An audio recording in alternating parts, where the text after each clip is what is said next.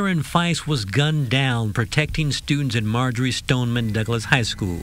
25 year old Devon Kondaki played football at the school and loved the coach who he called his mentor and who he described as a great father for his daughter Ariel, who's now eight years old, and a person who touched thousands of students during his tenure there.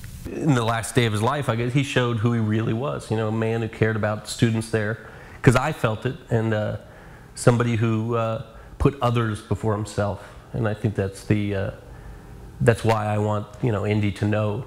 There have been 18 school shootings so far this year, 18 in 45 days. That's an average of one every 60 hours.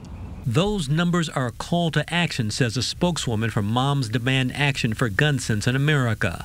Legislators are on notice. I know that our legislators are hearing the calls from their constituents, and I know that they're feeling the heat. And right now, it's just really important that we continue to pick up the phone and call our elected representatives and let them know that the status quo is not good enough, that we know that there's things that we can do, and we expect them as our representatives to take action. It's not time for thoughts and prayers, it's time for policy change and action. What about an assault rifle ban? There was a ban from 1994 to 2004. That measure expired. It appears the AR 15 style rifle used in the school attack was purchased legally.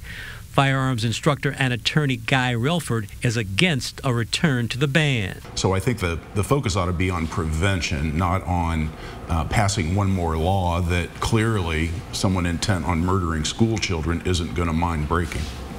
While the merits of those arguments will be debated, Kondaki, who's now an author of children's books here in Indianapolis, wants to make sure Coach Feis is not forgotten. Kondaki played football at Hanover College, Vice President Mike Pence's alma mater. Today he tweeted the VP asking that he honor the fallen coach.